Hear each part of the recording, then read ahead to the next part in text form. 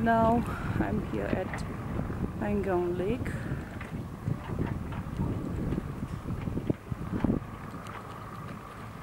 Just look at this color of this lake.